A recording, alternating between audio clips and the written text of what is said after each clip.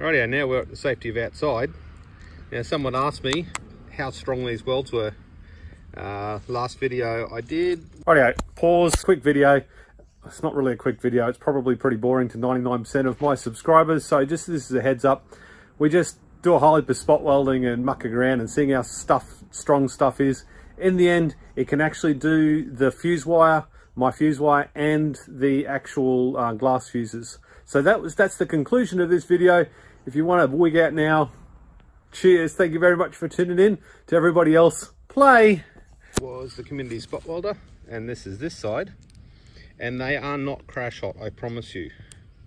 They are okay. But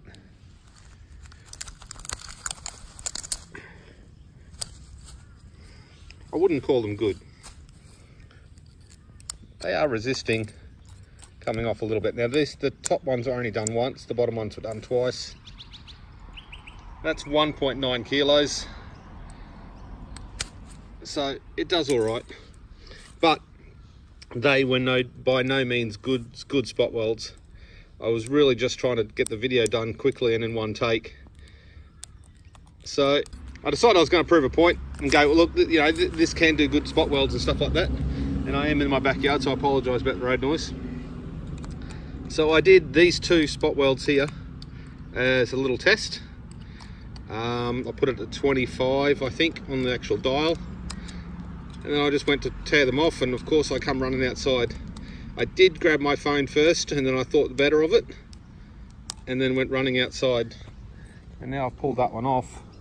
You can see that the, the, the spot welds have actually torn out holes in the top of the actual cell. Now there is a cell somewhere out here. As well that did the same thing. Just see little holes there. And the fluids run out of it. And of course that one got launched out in the backyard as quick as I possibly could. To answer the question this thing does some solid welds but let's take it back inside and we'll actually solder up. We're going to have to replace that cell I'll replace that one as well but we'll solder up this side properly and see how much better it looks.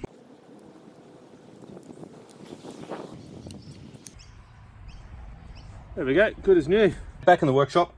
So we have got the little spot welder and we're going to run some tests after we saw those two cells that are still outside vented, or one vented and the other one didn't. Now this, this cell here was the other one that I had attached to, but I ended up cutting off the nickel rather than pulling it off just so it didn't destroy another cell but of course then I'm going to have trouble spot welding to it. And as you can see on the other side I didn't really prep it very well and pressing down nice and hard actually had to go around some of the other dags. But that doesn't matter. Now I got some nickel strip that Keith sent us from 18650 shrink. Keith's and then I've also got this big roll I bought off AliExpress. Link below. Uh, now this was sold to me as pure nickel and has served me really really well and seems to do the job but why is that discoloring if it's pure nickel? That's a question we'll all ask later. Someone said, it, is it magnetic? Um, and I don't know how true that test is. I don't even know if there's any... So that's magnetic. Keith's is magnetic. And that's magnetic. So I have no idea. Maybe I'll Google it. Maybe I'll just guess and let someone put it in the comments below. Right, settings. We have got the spot welder set to manual or manual, but I might change it over to automatic. Now, automatic you can do with the menu. Uh, click, mode, mode, auto. So hopefully what that does is when I go to spot weld something, it automatically goes and I don't have to press the button. So that'll make it a little bit quicker. So I don't have to press the foot pedal. My apologies. Just for reference, this pack is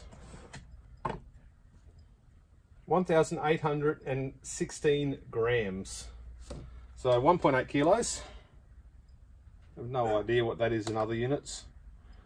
64 ounces and four pounds. So there we go. The system works. So I'll try and do a bunch of consistent tests where Quick heads up, Pete's talking shit. They're not going to be consistent. I just sort of hang it from each one. So we'll grab some of this. Now this is from the one I got from Banggood, some nickel strip. Go this side. And we'll do it all on the negative terminal, not the positive, because they're, they're both different, obviously. We'll grab some of mine. Right, yeah, that's mine. I'm going to solder mine on first. And what I'm going to do is I'm going to set it to, it's 10.1 or 10.3 joules. So I'm going to go an up in increments of five on that because it's never going to work on the, oh, it's never going to work properly on the standard one.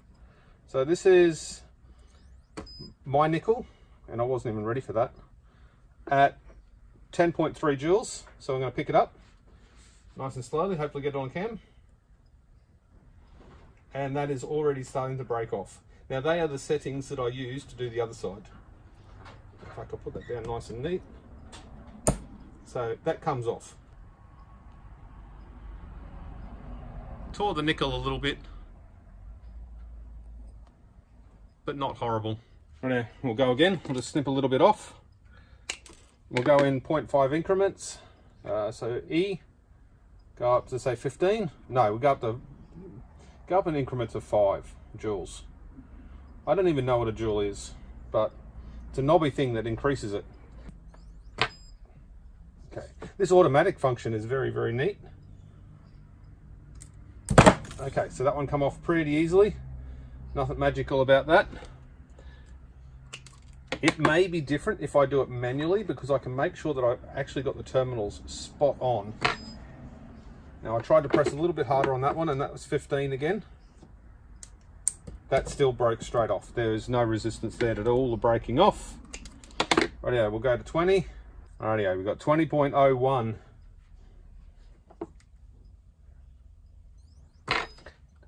I wasn't even ready for that. Uh, I think I'm going to get back to manual. Okay, so 20.01. I don't know. Now that's one and a half kilos, no, 1.8 kilos at 20, and that's doing all right. Obviously, this is not a normal situation where you move it around because moving it around is going to break the world, but I am jiggling it a little bit. See if we can get a close-up of it.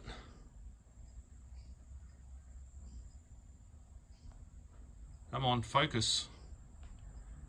Is a proper spot weld.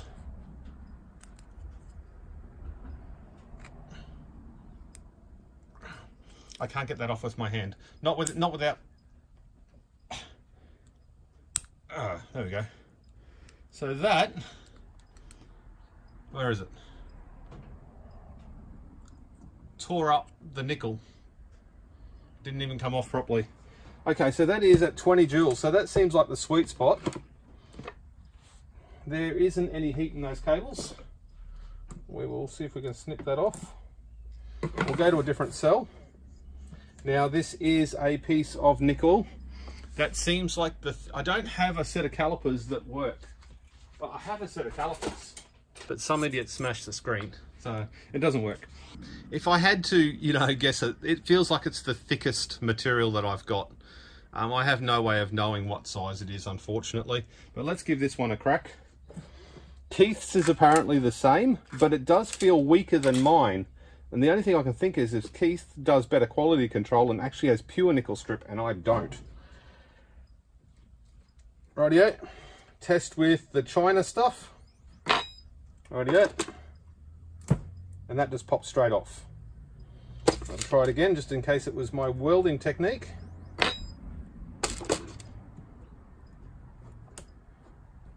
That one that's not horrible. It actually lifted it lifted a part of the, the cell up.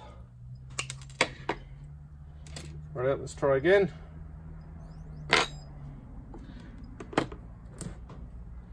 Okay, maybe we'll go 25 with this piece of nickel. We'll just call it material from now on, I think.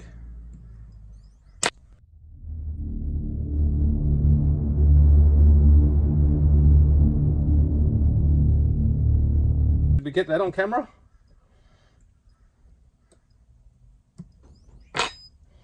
Okay. And that still doesn't stick. Now that is indicative of that nickel that I got the entire time. Um, even with the first spot welder I got, it didn't spot weld very well. I do have some thinner stuff of it that I got with it. And it does a similar thing. So this is a thinner strip. Now this is at 25 joules and that doesn't stick at all. Okay, let's try a different cell just to make sure it's not the cell that I keep spot welding to. Comes straight off again. Right, let's try a piece of Keith's at 25 joules.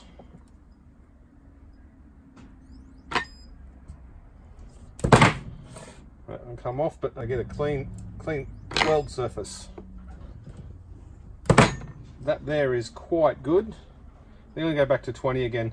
These cables are around, a little bit around about at 25 joules. A cleaner cell. Yeah, this side.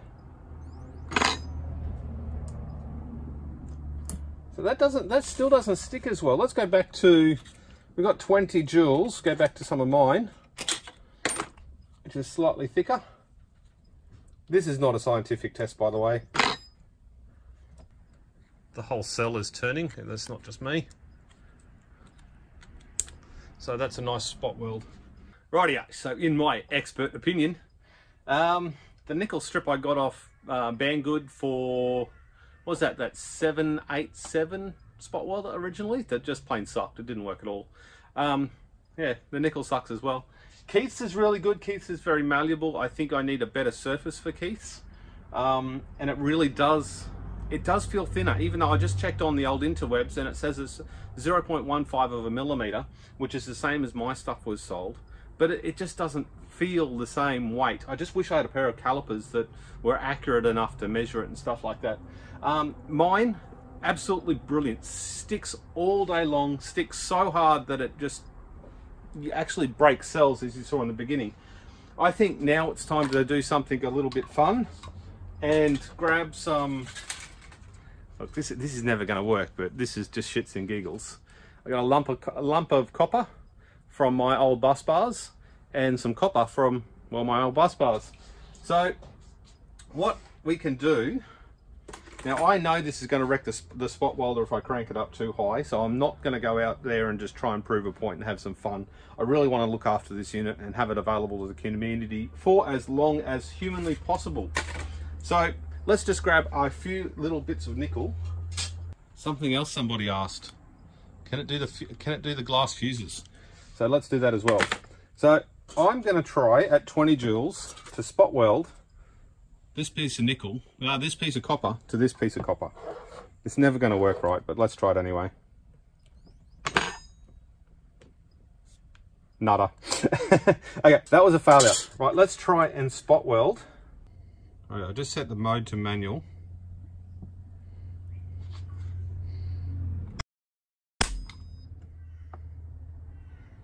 That's at 20 joules. So it blew the end of it off. and didn't really spot weld it. Now that's going to destroy the tips on the spot welder. I'm going to have to regrind them. It's definitely going to destroy the tips on the spot welder. So we'll turn it down to 10, uh, to 15. I can assure you this is no fun to line up for my eyesight. Oh, there we go. Rightio.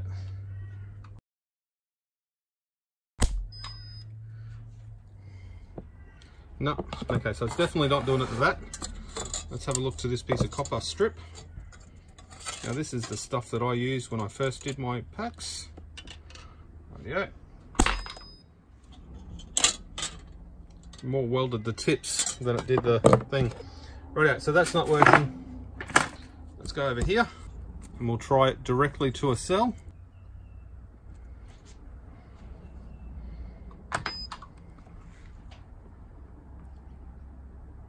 Wow.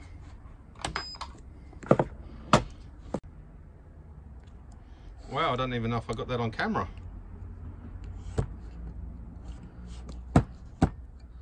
So, answers that question. Will it do the fuses? Absolutely will. Let's try to do the other end on the positive side.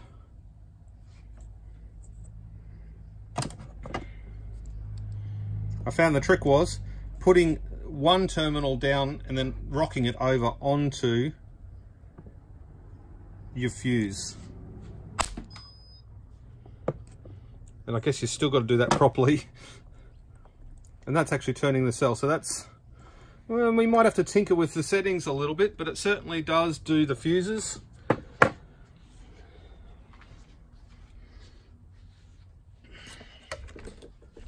One last test, I'll see if I can find some of my fuse wire. Yeah.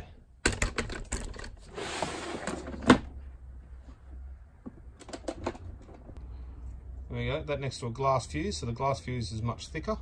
So I'll turn this down to maybe five joules. There we go, I got that to five joules for this one. Bearing in mind I'm still soldering to a very rough surface and I'm in manual mode, not in automatic mode now. Rightio. Contact. I think that's an average Joe thing. Oh wow. At five joules. When I don't have a really good contact, I think it sparks that bad. So I think that's all my fault. The really big sparks.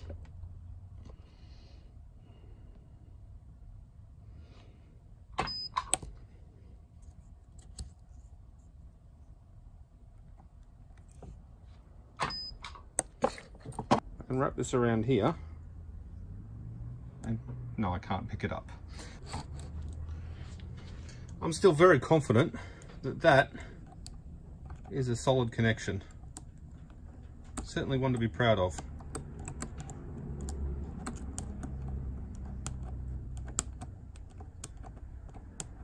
And that's just going to break again just by the movement of the backwards and forwards and not from the actual spot weld itself.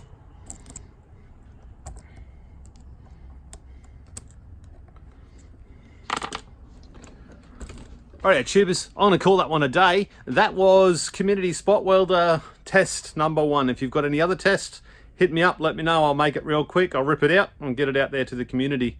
Remember, if you want to use this spot welder, link below to the community forum, uh, secondlifestorage.com. If you need a t-shirt, don't buy these ones because they shrink. Um, they make you look like you have man boobs. And I shall see you on the next one.